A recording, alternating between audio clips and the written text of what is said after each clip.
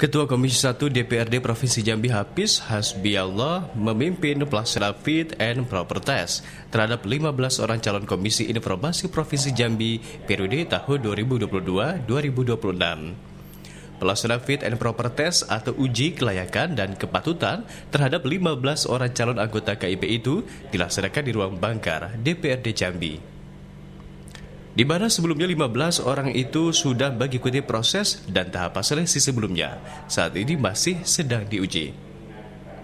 Ia juga mengatakan dari 15 orang yang terpilih nantinya, namanya akan diusulkan ke Gubernur Jambi untuk dilantik.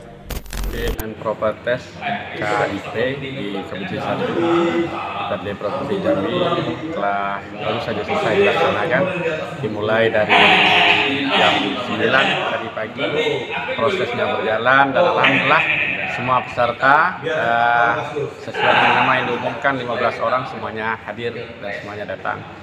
Nah sementara tim seleksi dari Komisi 1 eh, hadir 11 orang dari 12 orang yang mau tim seleksi itu. Jadi alhamdulillah semua berjalan dengan baik. Dari Jambi, Hamdi melaporkan untuk Jambi 28 TV.